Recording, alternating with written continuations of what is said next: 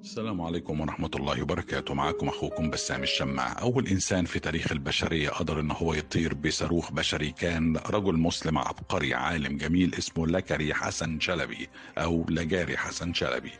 لكري أو لجاري حسن شلبي اخترع صاروخ له سبع أذرع أو سبع أجنحة حط فيه خمسين أقية من معجون البارود وكان في احتفالات موجودة في تركيا لأن هو تركي في مساء ولادة بنت السلطان مراد الرابع الأميرة كايا وانطلق لما تم إشعال هذه القذيفة أو هذا الصاروخ البشري وأصبح أول روكتير زي ما بيسموه في الغرب في تاريخ البشرية.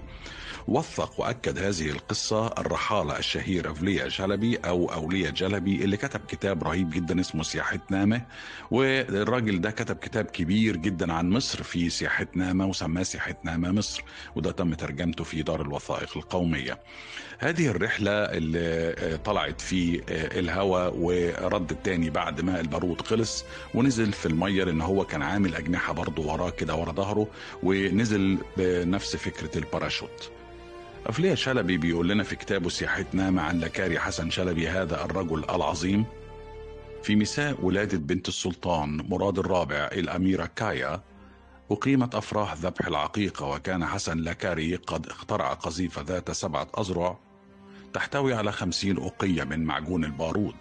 وبيكمل أفليا شلبي في كتابه سياحتنا عن الاختراع الذي هز العالم وما زال لكاري حسن شلبي صاروخ البشري ويقول تحتوي على خمسين أوقية من معجون البارود وقام من داخل قصر السلطان بركوب هذه القذيفة ثم أشعل معاونوه فتيل القذيفة وانطلق إلى السماء ثم أشعل القذائف الأخرى التي كانت معه فنشر الأضواء في السماء وبعد نفاذ البارود بدأت القذيفة بالتوجه نحو الأرض وهنا نشر أجنحة مثل التي كانت معه ونزل على البحر. قرب قصر سنان باشا ثم أتى إلى حضرة السلطان.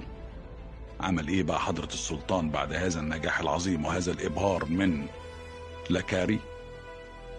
بيقول لنا فليا شلبي وقد أنعم عليه بكيس من الذهب وسجله ضمن صنف السباهي في الجيش الانكشاري.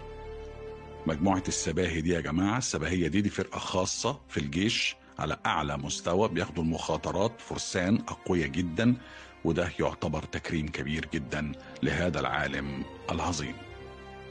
عندما سن العالم. أحداث وشخصيات في تاريخ الإسلام. قراءة بسام الشماع إخراج سارة الحريرية. رمضان كريم.